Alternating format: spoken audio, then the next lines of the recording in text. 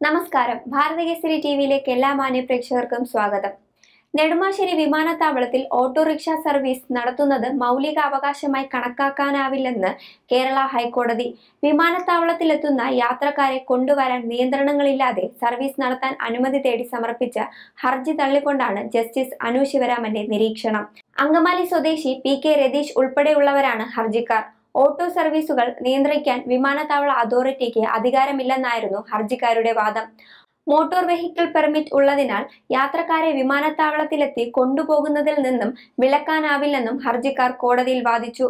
എന്നാൽ വിമാനത്താവളം നിയന്ത്രിത മേഖലയിലാണെന്നും നിയന്ത്രണത്തെ ചോദ്യം ചെയ്യാനാകില്ലെന്നും കൊച്ചി എയർപോർട്ട് അതോറിറ്റി വാദിച്ചു.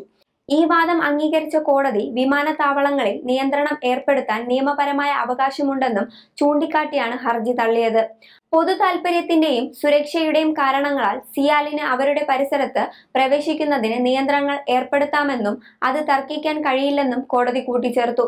എറണാകുളം ജില്ലയിലെ നെടുമ്പാശ്ശേരി വില്ലേജിലെ പാർക്കിംഗ് സ്ഥലത്തുള്ള എല്ലാ ഫിറ്റ് റോഡുകളിലും കോൺട്രാക്ട് കാരേജ് ഓപ്പറേഷൻ നടത്തുന്നതിന് മതിയായ പെർമിറ്റ് നൽകിയ ഓട്ടോറിക്ഷ ഡ്രൈവർമാരാണ് ഇവിടെ ഹർജിക്കാർ.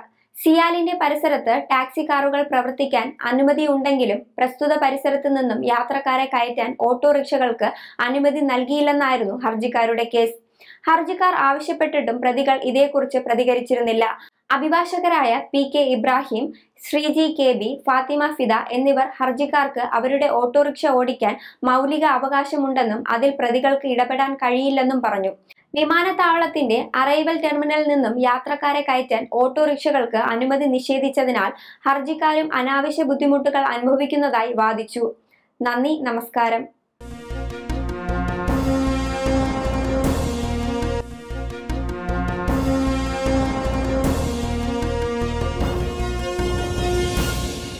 ചാനൽ സബ്സ്ക്രൈബ് ചെയ്യാത്തവർ ഉടൻ തന്നെ സബ്സ്ക്രൈബ് ചെയ്യുക. ബെല്ലൈക്കൺ കൂടി ക്ലിക്ക് ചെയ്താൽ ഞങ്ങൾ അപ്ലോഡ് ചെയ്യുന്ന വീഡിയോകളുടെ നോട്ടിഫിക്കേഷൻ ഉടൻ തന്നെ